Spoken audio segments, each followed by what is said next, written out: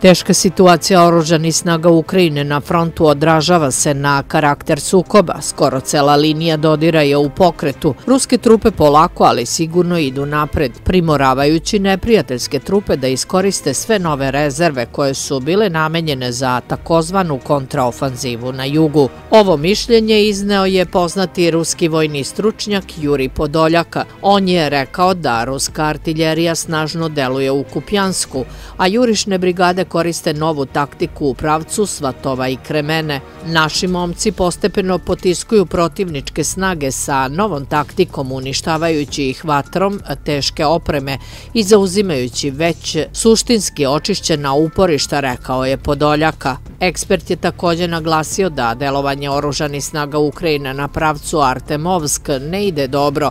Neprijatelj čak pokušava da napadne u reonu naselja Časov Jar, jer shvata da ako se ruske trupe ne zaustave, situacija može da se pretvori u opkoljavanje i potpuni poraz. Vodi se veoma ozbiljna borba, neprijatelj je bacio rezerve iz drugih pravaca i to je jako dobro. Prebacili su dva elitna bataljona sa Zaporoškog pravca, jedan iz Harkova, odnosno Artemovsk značajno troši snage neprijatelja, a naši momci polako, ali sigurno, nastavljaju da se kreću napred, rezimirao je Podoljaka. Muzika